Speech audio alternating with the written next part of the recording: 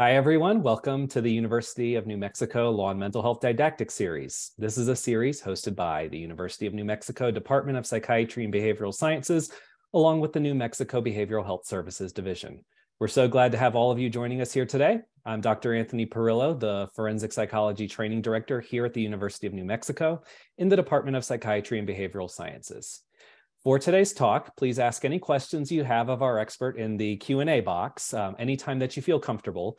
We do hold those until the end. We try our best to get to as many as possible, but oftentimes we get a lot, so just forgive us if we cannot get to yours. Um, for those of you that are pursuing continuing education credits but are on a tight schedule, you do have to stay for the hour, but do not have to stay longer than that. Um, if we go at the hour, I'll try to let you know when it's past. Um, we may stay longer to ask address some additional questions. If you are pursuing continuing medical education credits, there will be a sign in in the chat very shortly. And if you're pursuing APA continuing education credits, that link will be posted in the chat box around the last five minutes or so, 55 on the hour. Uh, make sure you open that link before you exit the webinar and make sure you save your certificate after you complete the survey. We don't have access um, and don't keep copies of those uh, certificates of completion after the fact. Um, a recording of this series and PowerPoint slides will be available probably later today. And as a heads up for next week's talk in the series, we're going to have a discussion on the risk and benefits of having a social media presence as a forensic psychologist. This will feature Dr. David Lay, who is an active social media user, and Dr. Molly Persky, who is not an active social media user. Okay, now it's time for what we've been waiting for for this week's talk. I'd like to introduce you to today's speaker who will be discussing considering sovereign citizen beliefs in competency evals. This is Dr. Anna Feinman. Dr. Feinman was awarded a PhD in clinical psychology with a forensic emphasis from Palo Alto University after completing her pre-doctoral internship with the Ohio Psychology Internship's inpatient track at Heartland Behavioral Health. She is most notably a current stellar forensic postdoctoral fellow here at the University of New Mexico School of Medicine, where she divides her time between court ordered competency to stand trial evaluations and policy work. Dr. Feinman began her career in mental health as a marriage and family therapist, working primarily with high acuity children and families. Since switching gears, she's worked with a variety of forensic populations, both on the inpatient and outpatient tracks. Her primary clinical interests are in the areas of risk assessment and management, restoration treatment, and criminal forensic assessment. She also has risk research interests in lone wolf terrorism and hate groups, violence risk assessment, and supervision within the forensic assessment context. Um, Dr. Feinman, Anna, uh, on behalf of us, the University of New Mexico, may say we're excited to have you uh, sharing your expertise with the law and mental health audience. I'll now throw it over to you. Right. Good morning.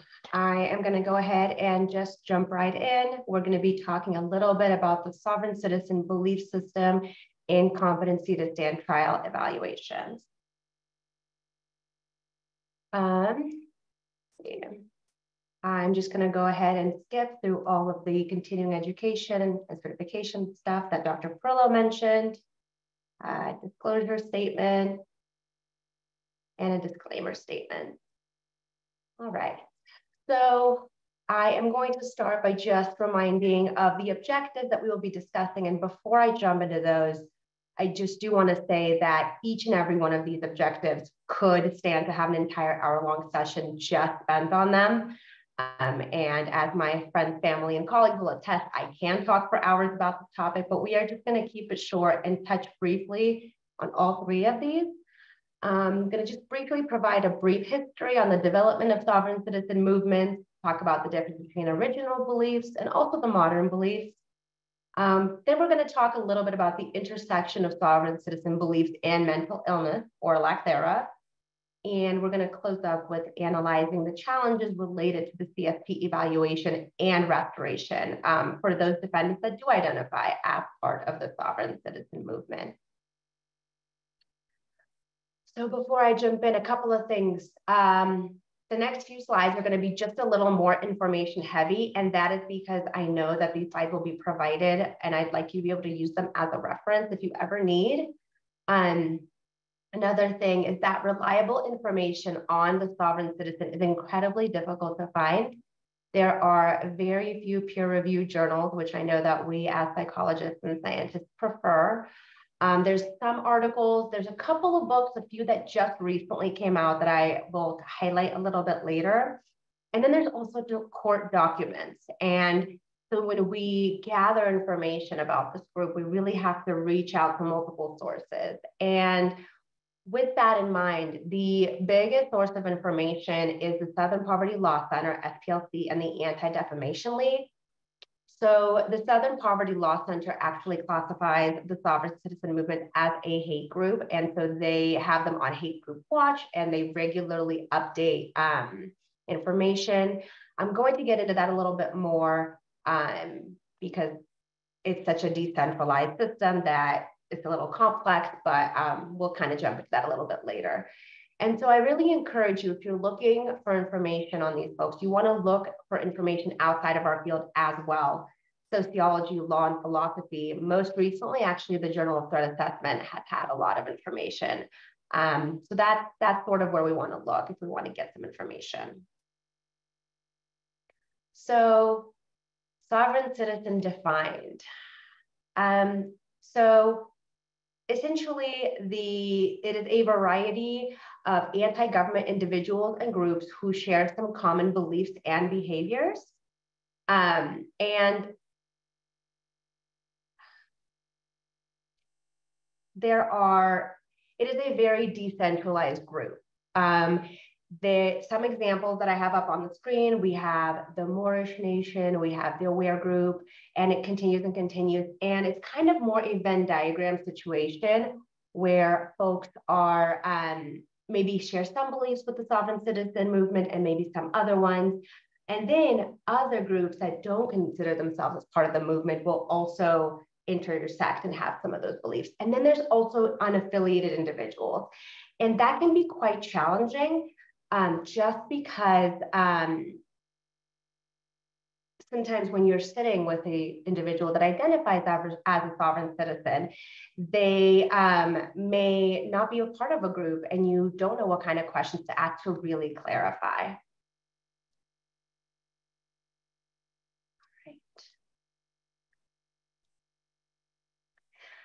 So overall, the overarching belief of the sovereign citizen is that they believe that they are not under the jurisdiction of the federal government and they consider themselves exempt from US law. Um, I'm just going to pause for one second here. Um, Alex? Yes. The um, presentation that you sent back to me, it does not have any of my notes in it. Oh, so let me let me go ahead and get that to you. Yes. Okay. Give me one second.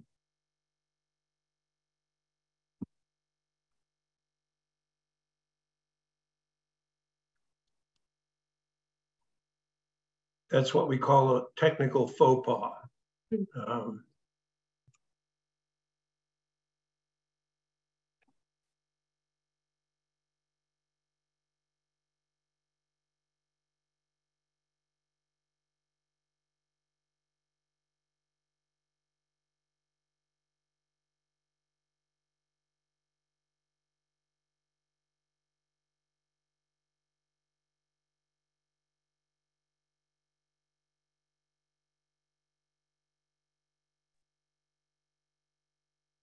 Okay, Anna, uh, just sent you your email. Go ahead and use that version.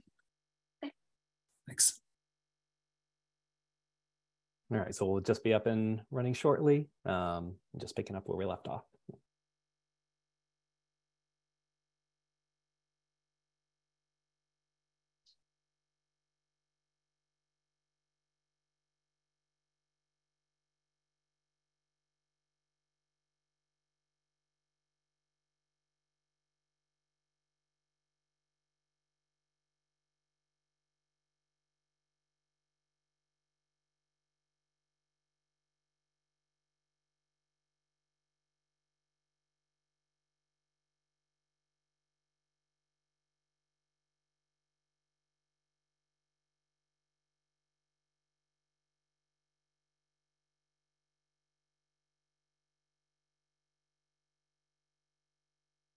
All right.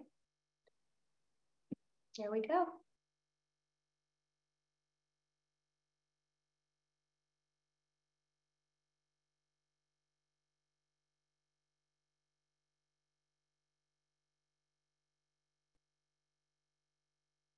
All right. Thanks for being patient with that, folks. Okay, here we are. All right, so I am going to dive a little bit deeper into the central belief system. Um, and again, this is gonna be a little bit of an information heavy slide, um, but I do think it's really important so we can contextualize um, what the belief system is and to understand how we got to where we are now. So the conspiracy is that the US government was replaced. Sovereign citizens believe that the American government that was set up by the founding fathers under the common law legal system was secretly replaced. They basically think that the replacement government swapped out common law for admiralty law, which is the law of sea and international commerce. And here's where we first see the beliefs diverging just a little bit. Um, some folks believe that this happened during the Civil War, and then others believe that this happened in 1933 when the US abandoned the gold standard.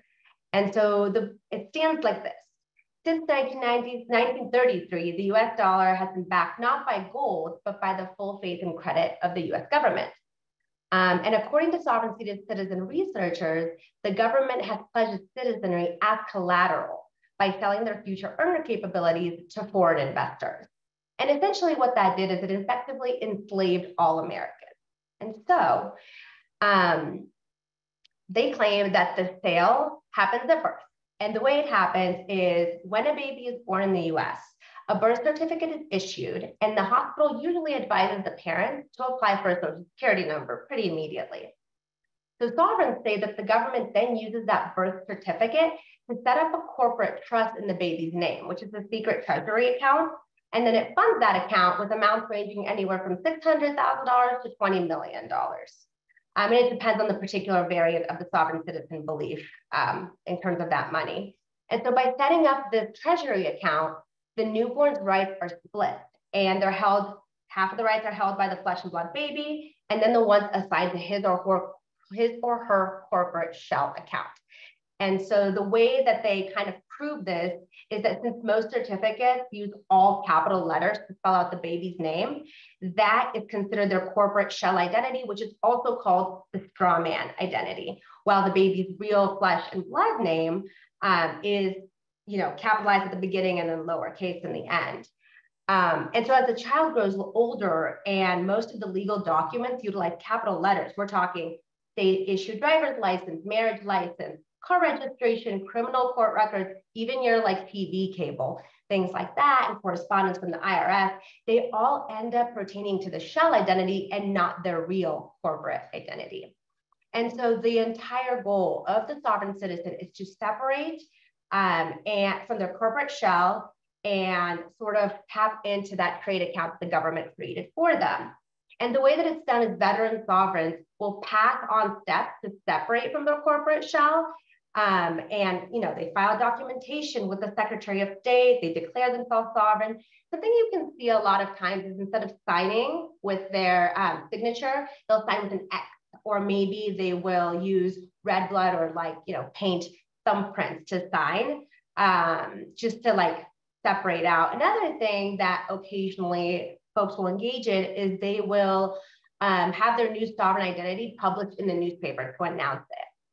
Um, but yes, the whole goal is to tap into that account and, you know, what ends up happening is that that paperwork really clogs up our legal system.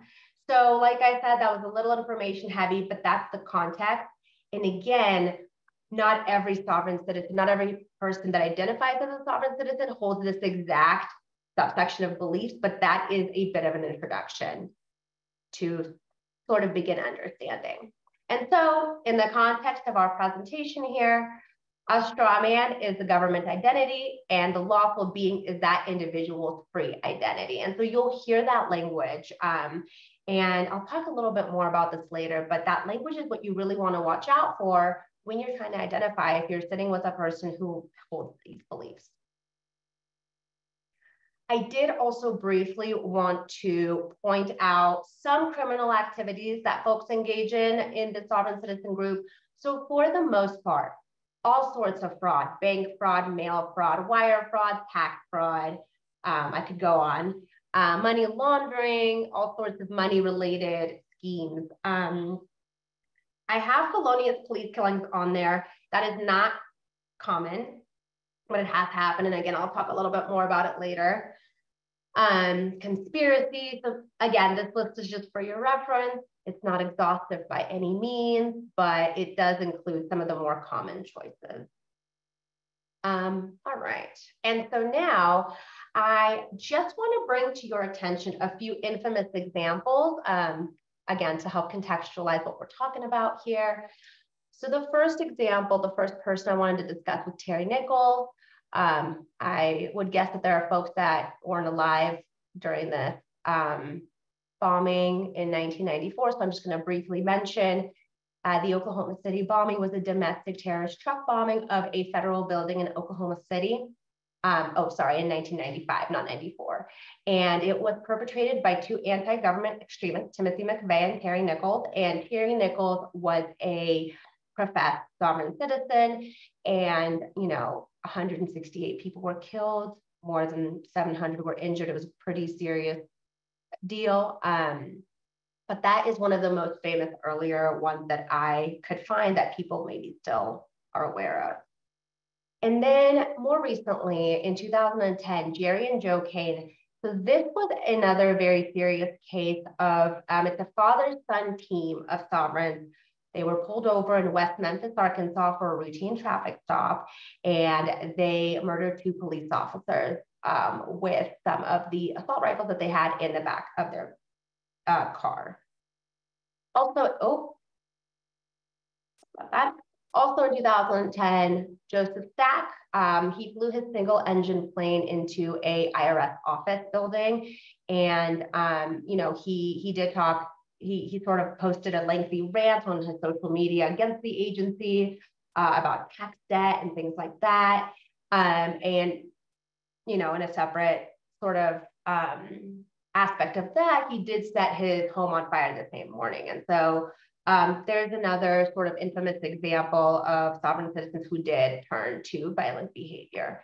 And then last but not least, not as infamous, but perhaps more famous, Wesley Snipes, who is a, an actor, he wrote a 600 page statement to IRS in response to some conspiracy charges that were filed where he claimed a false tax refund. And really the long and short of it was that in 2008, he was sentenced to three years in a federal prison. Um, he was convicted he, for willfully failing to file his tax returns, and he was released in 2013. There is more information about that online as well if you are interested. Okay, so that was a little bit of an introduction, and I'm going to just shift gears a little bit and talk about sovereign citizens and mental illness before we jump in. Um, and I talk about this a little bit more later. There is an intersection. Not all sovereign citizens are mentally ill, and there are some more sovereign citizens that are, that are. And this section is just to help kind of differentiate and point us into a direction where we can really parse out um, what's what when we are sitting with these folks in our offices. Okay, so a few things here. For those unfamiliar with the sovereign citizen movement, um, and I'm going to tell on myself a little bit here, I grew up in an area where the sovereign citizen movement, when I lived there, was not big. It was not common. I had never, in the eight years that I was doing mental health work, I had never sat with anybody who espoused these beliefs. And so um, when I ended up moving to a different part of the country where that's more prominent, I had no idea what I was looking at. And so for those unfamiliar with the movement, some of the behavior, some of the statements made can seem a little bit bizarre and confusing. And, you know, for those of us trained to look out for it, mental illness. And um, something that I always think about is if individuals that are trained in mental health are looking at differentials like schizophrenia spectrum or bipolar with psychotic features, maybe even looking at personality disorders, we're having these thoughts about these folks, I would imagine that lawyers and judges and other courtroom functionaries may also have some trouble with understanding what may be happening when these folks present in our criminal justice system. Um, I'm gonna do a little plug here. Uh, it's in my references, but Rahman and colleagues 2021 uh, they wrote a article on personality assessment in extreme overvalued beliefs, which I think is definitely worth a look, and I'll, I'll mention it a little bit later. Um, but there are very few, like I said, specifically peer-reviewed articles on mental illness and sovereign citizens. And the ones that do exist, they tend to talk like they're more case studies. Um, and I think that's because even though um, the movement at this point, approximately, we're at about 500,000 folks nationwide. Again, that's such an approximation because folks do try to shy away from any kind of government institution. So it's not like there's a census out there that really captures it. But um, it's still really difficult to find enough individuals to get a high end for a peer-reviewed article. And so with that being said, um, I kind of want to spend a little bit of time just reviewing um, what we see. And something that is maybe like the first thought that some of us have when we're sitting with an individual who's espousing some of these beliefs and thoughts is um, that they might be talking about a delusion. And the DSM-5 TR um, defines a delusion as a fixed belief that is not amenable to change in light of conflicting evidence. Um, they go on to talk about the distinction between delusion and strongly held ideas and saying that you know they're a little difficult to determine, but ultimately depend on the degree of conviction with which that belief is held, even if there is contradictory evidence regarding its veracity or truth. Um, and so I'd be remiss if I didn't also mention that cultural context is incredibly important here. We have to consider folks' religiosity, any sort of supernatural beliefs, right? Individuals who have experienced torture or persecution or political violence and discrimination, right? All of that is contextually important when we're hearing somebody's story. Having said that, though, when we think about extreme overvalued beliefs, right, it's usually a shared phenomenon, right? Shared in a person's cultural, religious, or maybe subcultural group, community. Um, it's relished, it's amplified, um, and it's really defended by the, the possessor of the belief. Um, but again, it's kind of hard sometimes to differentiate between a delusion or an obsession. Um, and something that Rahman and colleagues talk about is that belief, it grows more dominant and more refined and more resistant to challenge. And this intense emotional commitment to this belief across this group of individuals uh, may end up carrying out violent behavior in its service. Um, and you know that goes back to the slide that I just talked about, some infamous examples where violence was perpetrated and a lot of people got hurt. Um, sometimes the belief can also become binary and simplistic and absolute. Um, and those are all considerations that we need to sort of keep in mind as professionals. I would be absolutely remiss if I did not mention uh, Dr. Cunningham's work, um, his 2018 article, which talks about a structured professional judgment that can help in determining sort of trying to tease out and differentiate between a delusion and a strongly held belief. Um, Dr. Cunningham did a presentation for LMH, uh, I think last year, and talked about this at length, and it was excellent. And I found his sort of the structure that he created within this to be really um, helpful when sitting with a defendant or a patient that is espousing this belief, but may also be showing some sort of um, delusional belief as well. And without going too far into it, um, you know, he look, encourages us to look at like the cognitive style and content of the belief. Like, what are they believing and how is it believed?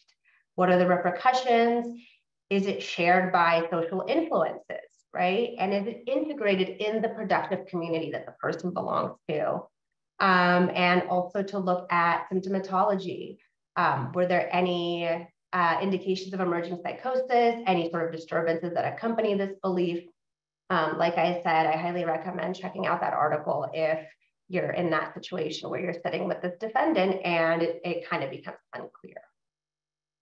So I just spent all this time talking about differentiating between folks who have a mental illness or who espouse sovereign citizen beliefs. And what I want to jump into now is actually bringing up an example from my own work of an individual who had strongly held sovereign citizen beliefs, considered him a part, himself a part of the movement, and also a presented with a diagnosable mental illness. So I am going to just briefly talk about LM.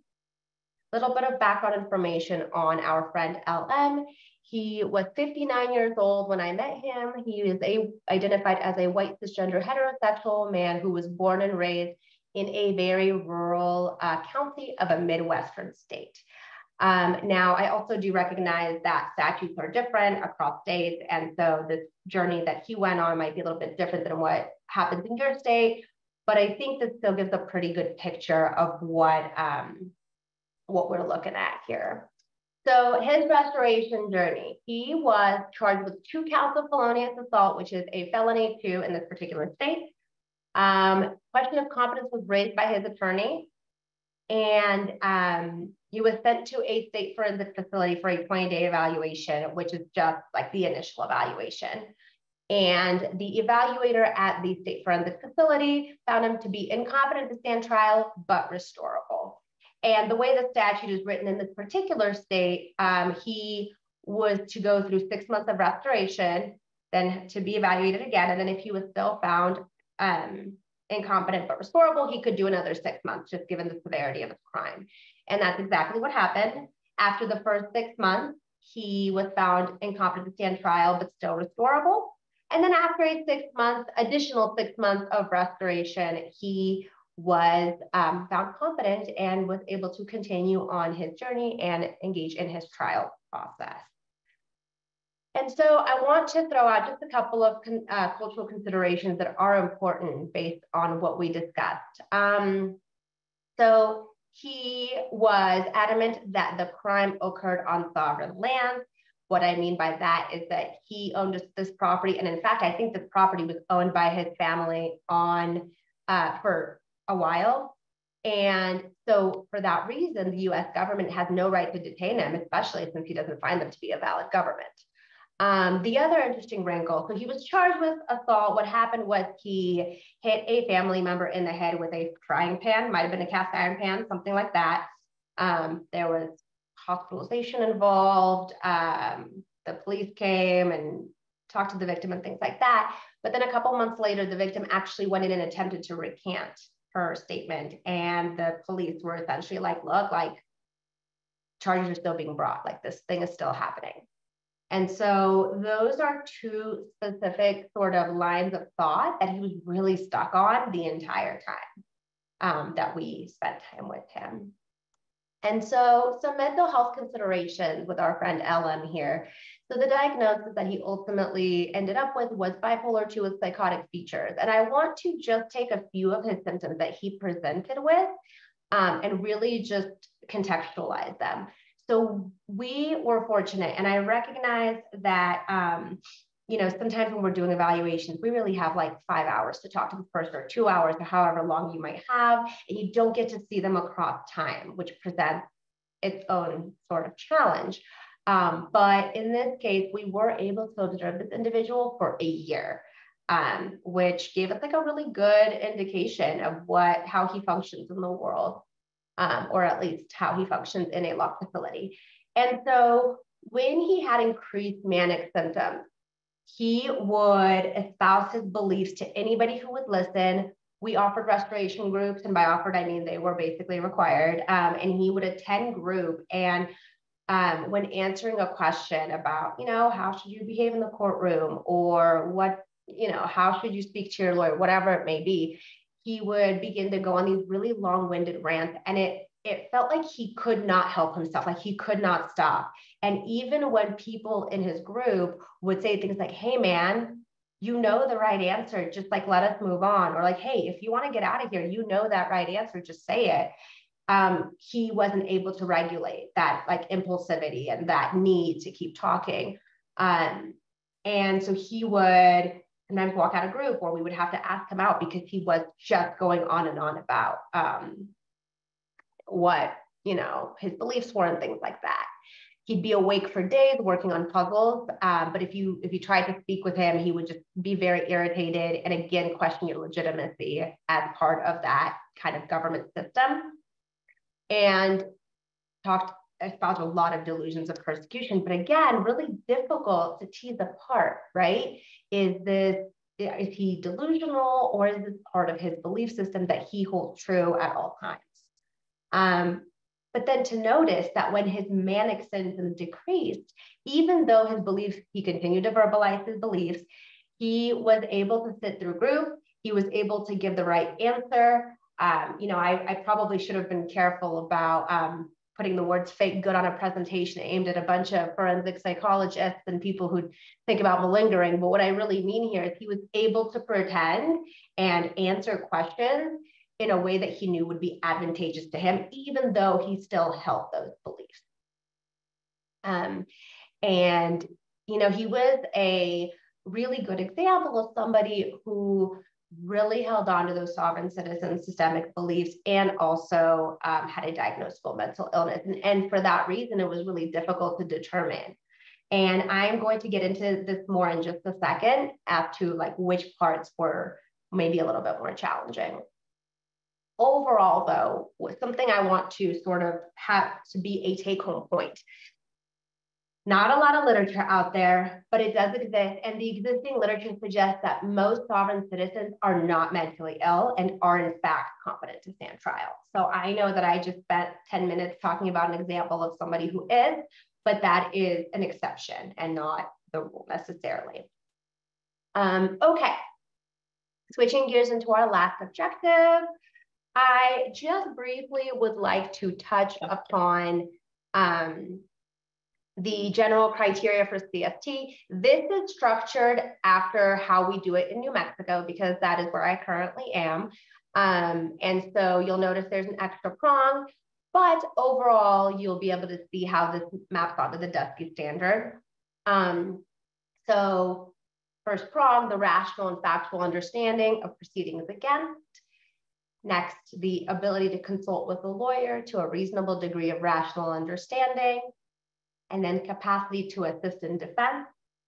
And then that bottom one is specific to New Mexico, although I do believe that several other states also um, talk about this, but uh, capacity to comprehend reasons for punishment.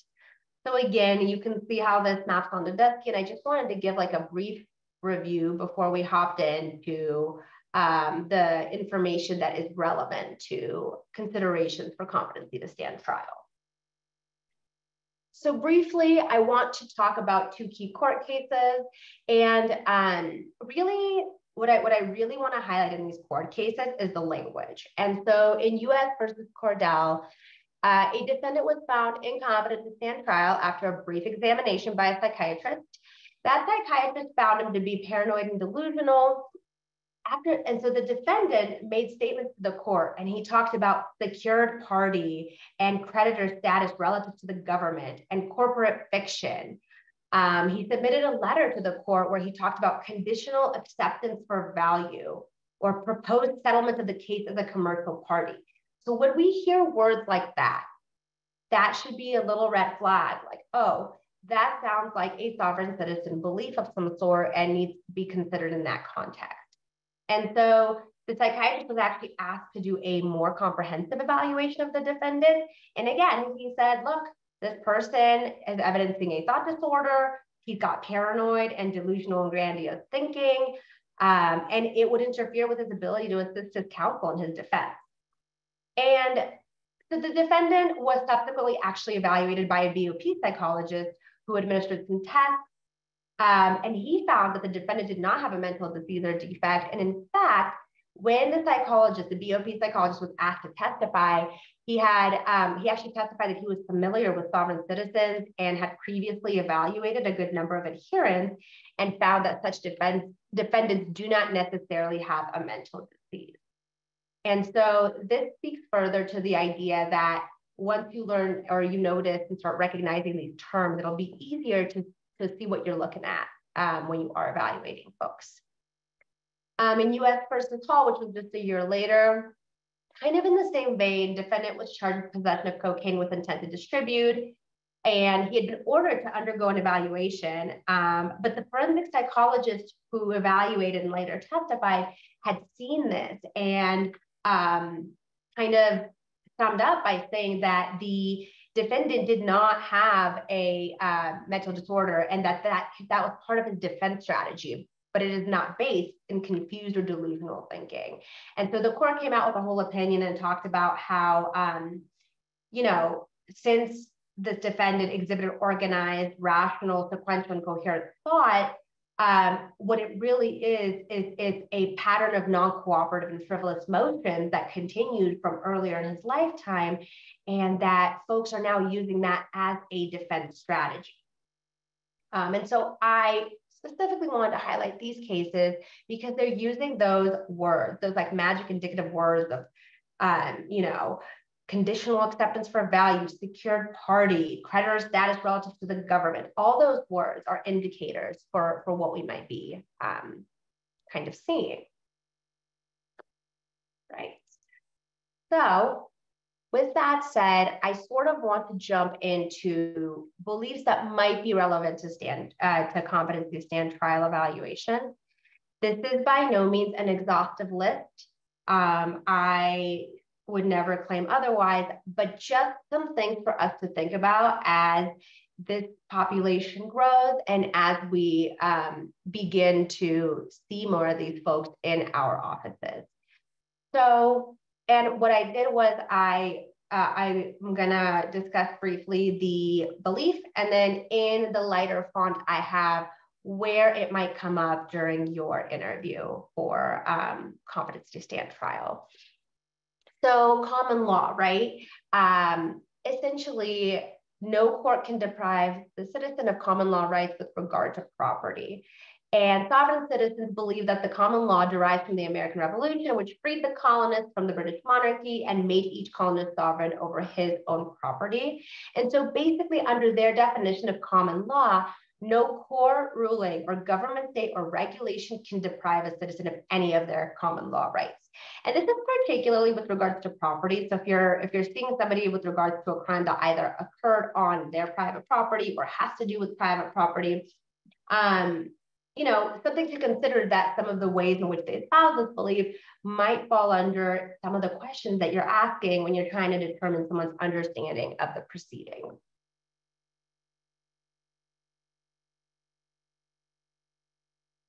All right, and now 14th Amendment, right? Um, we all know what, what the 14th Amendment is, uh, but to sovereign citizens, the way that they read it is that the 14th Amendment um, shifted all those Americans from the status of being citizens of individual states to being a citizen of this corporate entity, which is the federal government. But they believe that this change in status can only occur if the citizen voluntarily agrees to give up all those rights. And the way that you give up those rights is by seeking a license, paying your taxes, holding a social security number. So all of those things. And so they're out there revoking driver's licenses and social security numbers and trying to become immune to the judicial system and state and federal government. Um, so this is a this is an interesting point too, because I think that this could pop up when you're evaluating for capacity to aid in their defense and understanding of the proceedings. And again, if we're not familiar with the language that these folks are using, it can sound like something it's not, and really, you know, ultimately change your opinion. Um, additionally, there is a whole missing 13th Amendment belief. I won't get into it too much, but only to say that in that, folks who believe in that, they believe that lawyers are nobility and aren't legal citizens. And so you could imagine how that could interact or interfere with their ability to consult successfully with counsel or at least appear as though they do. Little side note, um, some folks are pretty insistent on self-representation um, and I know some of our colleagues are finding themselves doing um, competency to represent self-representation or however um, your state and statute refers to that. And that's another wrinkle that I'm not going to get into here, but something worth considering. Um, see. And then office of person. So this is a variation kind of on that idea that the government has conspired to prevent its citizens from being free, uh, men and women. So the long and short of it is that sovereign citizens will argue that because the statutory definition of a person does not include man or woman, criminal statutes will only apply to people who hold government office. And so then the government will appoint people to the office of person through licenses and permits and state benefits. And basically, what all of that means is that then people, by answering questions of state office holders, are accepting this authority rather than rejecting it. Um, and so that goes for government officials, judges, attorneys, police, other bureaucrats. And um, they will not answer those questions posed by these individuals. Something to consider a lot of the times as evaluators are we are seen, whether rightfully or not, as part of that system. And um, that could really interfere with our interviewing of defendants if they believe that. And so I threw it under all three prongs because I think that it could come up under all three. Um, it doesn't really necessarily um, have to, but something to just think about. And it's not the end all be all. And like I said, there are many other beliefs. Something that I think could be really useful there is a book that I've referenced at the end there um, that is called Sovereign Citizens, a Psychological and Criminal Analysis. And um, she has an entire chapter on um, behavior in court and what that might look like and how that might appear. Definitely worth a read if you have a chance. And so really we want to look at some competency to stand trial considerations. Really what can be really helpful is familiarity with core beliefs and basic tenets. Like I said, I so briefly and so quickly went through the development and the beliefs and you know where we're kind of at and um, just even knowing a little bit of that and those key words to look for can really aid in accurate evaluation of competency um, and you know it's worth saying that in many instances at this point especially in um, states where it's more prominent sovereign citizens are recognized in courtrooms and competency isn't even raised there was an interesting study that I also threw in the references at the back where um, there was a study conducted in Indiana and very few courts raised competency for sovereign citizens and no rural county courts because again, they're familiar, they know what they're looking at. So that greater familiarity is let, makes it less likely. And not only that, but judges have been even dismissing cases in order to prevent that waste of resources that sovereign citizens are so well known for. Um, like I mentioned briefly, behavior in court. Sovereign citizens are known for their problematic behavior in court. Uh, they can be obstinate, argumentative, antagonistic, confrontational, disruptive, and for evaluators of competency, that is, you know, always something that we know and something that we discuss. Um, so just another consideration to throw in there. I also think it's important to remember the importance the importance of collateral information. Um, I think anytime we talk about um, forensic evaluations or just you know psych evaluations in general, collateral is brought up. You want to talk to family and friends. Um, our friend LM from earlier, his entire family, based on his report, his entire family is uh, part of that sovereign citizen movement. And he has been in it for a very long time. But then we also see folks who are um, younger and maybe brand new to it and maybe just getting started and and how different it is when someone's belief system is deeply sunken in versus just like a shadow or a, a new belief that they haven't fully actualized into yet. And so this can be a really important conversation to have. We want to look at previous hospitalizations. Did somebody ever bring up this question before? And of course, previous forensic evaluation. Like I mentioned in those two court cases, um, especially in the 2011 one, somebody who is less familiar may have evaluated this person and found them to have some sort of delusional disorder um, and have described it. And those descriptions can be helpful to even compare to what you're seeing now. Now we know competency is about the present moment, but this information can be very helpful regardless. Um, what we really want to see as well is we want to think about capacity versus volition, which I think is a basic tenet of CST evaluations anyway. Um, you know, can this person be, uh, can this person hit all the prongs? Can they be calm? Can they talk to their counsel? Can they assist in their own defense? What part of it is volitional and what part of it is the capacity? And I'm going to leave you with a little bit of a uh, mic drop there at the end. Um, I know that some states require, or some jurisdictions, I should say, is probably more accurate, require a diagnosis. Um, but I think as a field, we are shifting away from like pure DSM-5 precise diagnoses and into a description of what we're seeing symptomatologically. And I think that this is where that can be really, really helpful, whichever way you decide to go, whether you find somebody competent or incompetent or however that goes. Um, the last thing I want to mention, uh, sovereign citizen movement is growing. We are seeing them in places where they're not typically seen. And like I said, at Pat last count, it was around 500,000, but that was in 2018, 2019. Um, and so it's important, I think, to be on the lookout and to sort of pay attention to what we might see.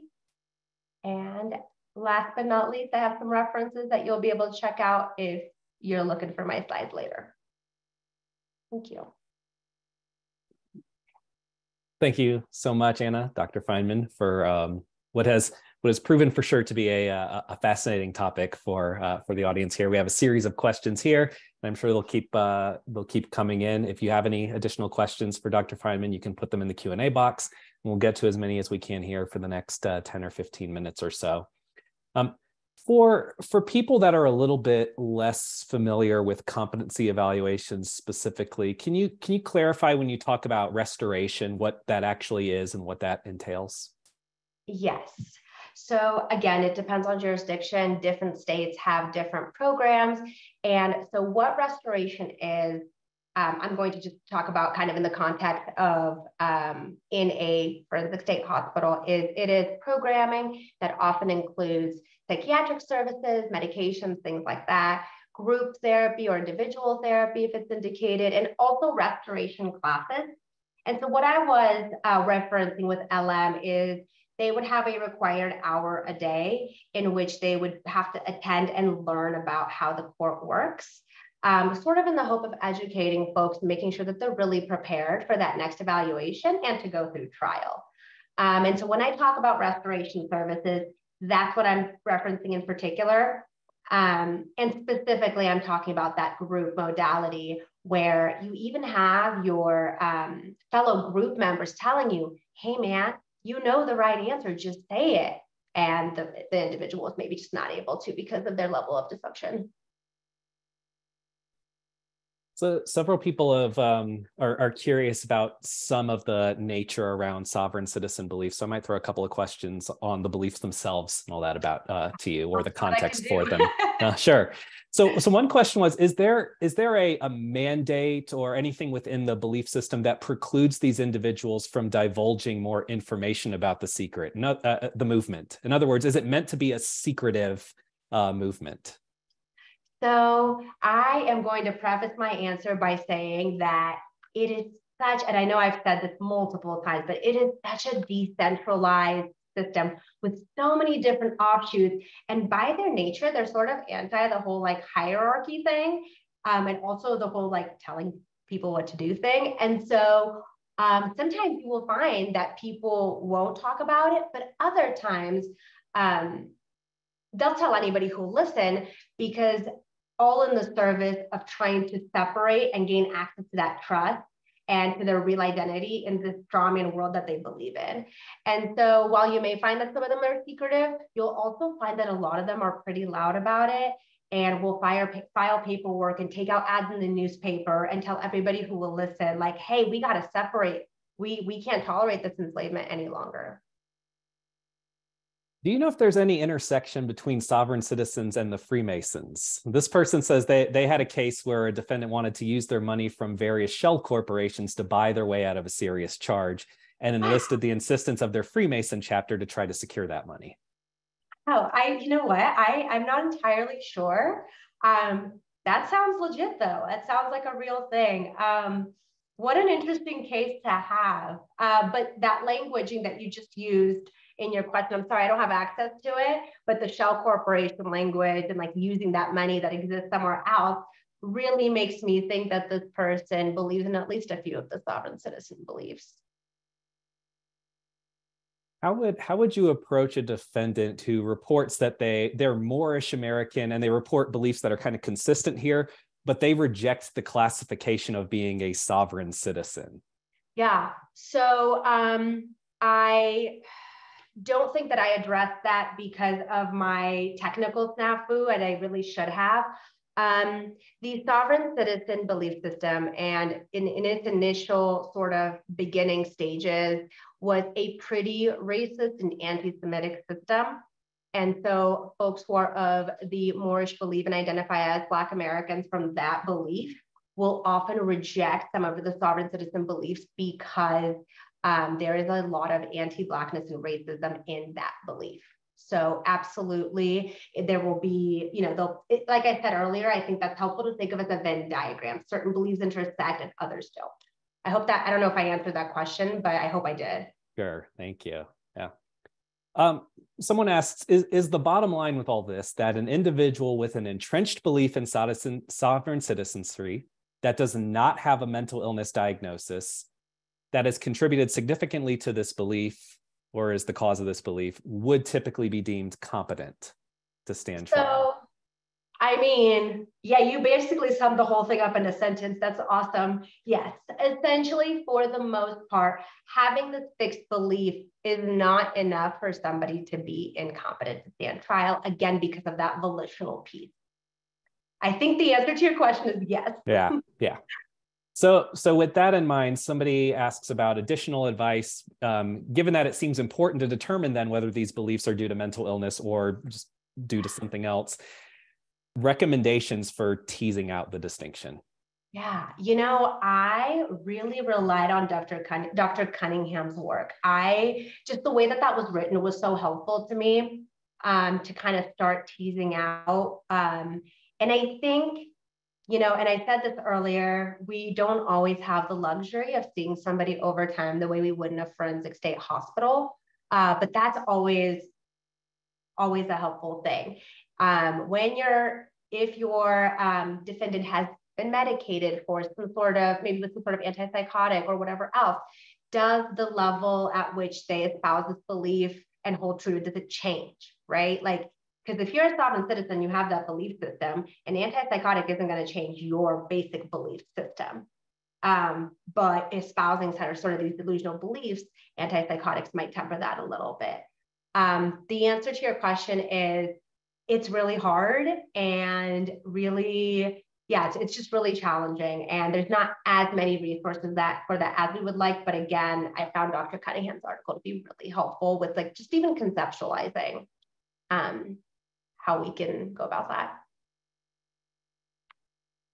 Do you have any suggestions on how to identify patients that might be malingering sovereign citizen beliefs in their attempts to be found not competent? Well, I think that the, you know, it's important to go back to the root of the matter. Like we just said that somebody who espouses sovereign citizen beliefs is not necessarily incompetent. And in fact, more of the time, more times than not, they are competent. And I, you know, and I don't have any scientific basis for what I'm about to say. I'm just saying what I've done in the past. I've just given it to them straight. Having this belief system isn't going to make me think that you're delusional if you're trying to malinger. Just say it straight out. Um, but no, I have, I don't think I've been doing this long enough to give you a better answer than that, but something to think about. So so kind of getting back to that that core message of like if it's just the sovereign beliefs that might not be uh, sufficient to be found not competent. Um, this is this seems like sort of the explain it like I'm five kind of question. Maybe not that severe, but I'll get to that part. Um, I've had a couple. This person asked. I have a couple of cases, uh, and attorneys have had difficulty grasping how a client can be competent when their beliefs seem so delusional and that the client will not cooperate with counsel. Any tips on how to educate an attorney about these differences? Yeah. Um, so I am a big fan of footnotes and citations in my competency eval. I know that that can be a little bit of a um, controversial sort of decision. I know some folks who are not about that. I have found that referencing like bodies of work, and so there's a couple of um, more informational references here in my um, presentation, and just sort of um, summarizing that information and then putting a citation down and just explaining it exactly the way we just talked about um, in a short paragraph. I know we're all trying to do shorter evaluations and more accessible, but something like this really could use an explanation. And especially if you have an attorney who's never experienced this before, you might have to explain it a little bit more than you would otherwise. Um, but it's like everything else. A lot of what we do, I think, as forensic evaluators is about education. Um, and this is not different. Yeah, speaking of um, speaking of sometimes this this message of clear communication here. Um, do do sovereign citizens actually call themselves sovereign citizens, or is that a label that we have we have given them? I have experienced folks calling themselves sovereign citizens, and it is actually a label that some of these individuals carry with a lot of pride. I mean, remember, they think that we are all sheeple following a government that is illegitimate, you know, and and they're not. They're doing their thing. They're trying to access their money. They're trying to live a free life, and so they carry it with a lot of pride. Um, again, all of these answers I'm giving probably aren't true for every single sovereign citizen out there, but this has just been my experience. Absolutely. And as you highlighted, there's very, very little out there um, of looking at sovereign citizens as a group. Um, a lot of anecdote after anecdote after anecdote. Um, do you know of any research with that in mind uh, about different types of characteristics or symptoms that appear more common among people that endorse these sovereign citizen beliefs? So, because the studies that do exist overwhelmingly have have discussed individuals who are sovereign citizens but don't have a mental illness. So essentially what it is, is it was like an archival sort of situation where they looked at people's um, criminal history and CST evaluations and all that stuff to determine, hey, like did the sovereign citizen have a mental illness or what was going on with them? And overwhelmingly, they were found not to have it. So like I said, because of that, there's very little research. Um, I'm going to ponder that. And if you want to send me an email, I'll, I'll I'll think about that further because I want to give it sort of the weight it deserves. Um, but yeah, email me and I'll I'll see what I can find for you. Are your uh, I, I can't remember right now. Are your is your email address on the slides that oh. um, they'll be getting out? What a great question. I think it might not be, but I will make it available. I apologize. yeah, no, it's all good. Um, I'm noticing here several people have since asked if um, if you're aware of any spikes or increasing claims of sovereign citizenship, particularly since the uh, January 6th insurrection attempt. I think what I would like to say is that there has been generally a spike in extremist beliefs in the last few years, and sovereign citizen extremist beliefs are part of that trend.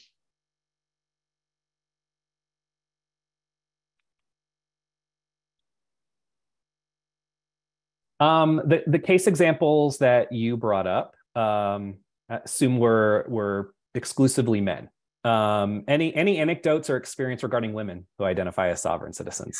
You know, I have I've not encountered a woman who identifies as a sovereign citizen, but it's worth mentioning that LM's family member that he had perpetrated the attack on identifies as a sovereign citizen. So this is not a strictly male um, belief system every example that I have read about or seen was.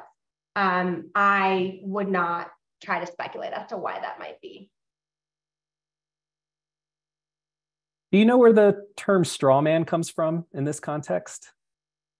You know, I'm fairly certain I read about it and I cannot recall right now. Um, but I imagine it's something akin to the fact that like house built of straw falls apart, maybe. Mm-hmm but I will, I will, you know what, that's a good thing for me to know in the future. So thank you.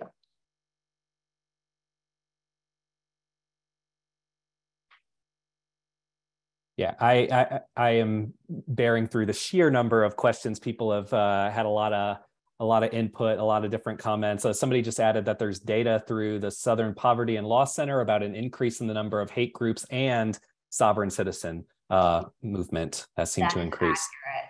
Yeah. And Southern Poverty Law Center is an excellent tool. They do a lot of tracking um, and just to kind of keep your pulse, your finger on the pulse of what you might see coming into your office that maybe you're not as familiar with. I, I look at their stuff maybe like once every couple months in that for that reason. So, so we are we are at the top of the hour. So I'll just throw out one gets back to a more of a forensic kind of question here that was asked that touches on some of the things we have here before. Um, if we if we agree that these are irrational beliefs and these beliefs affect their defense, how do we then say the person can rationally assist their attorney in their defense and find them competent to stand trial? I think I would argue against it being an irrational belief specifically that language because at its core by definition if you believe the things that they believe they they would say that it is a rational belief. Um but i hear what you're saying. Um let me think about how i want to answer this.